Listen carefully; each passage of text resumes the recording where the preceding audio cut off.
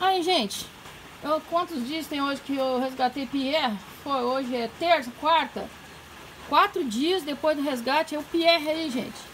Ele já tem uma carninha, já tá cobrindo os ossos, tá, gente? Mostra aí, Pierre. Levanta. Pessoal vê. Já balança o rabinho. Olha o rabinho machucado aqui. Vem, vem, levanta.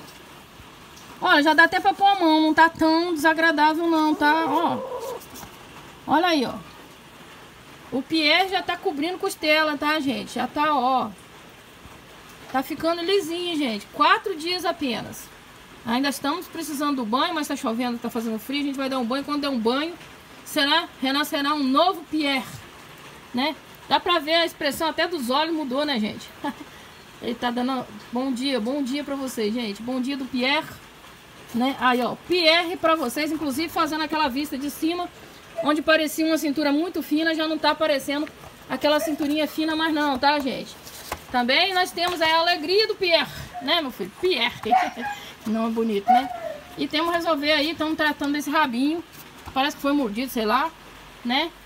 E vamos comprar uma ração melhor pro Pierre aí.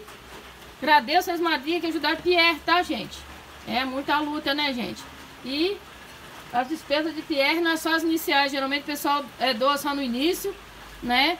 Mas Pierre sobrevivendo vai viver 15 anos, tá, gente? Lembra disso. Valeu? Fica na paz, fica com Deus. Obrigado, obrigado aí, madrinhas. Valeu, tchau. Não esquece da vacina, né? Eu acho que o pessoal já até doou vacina, mas se não doaram aí, que doa a vacina dele, que ele já pode vacinar. Tá gordinho, tá engordando. Tchau.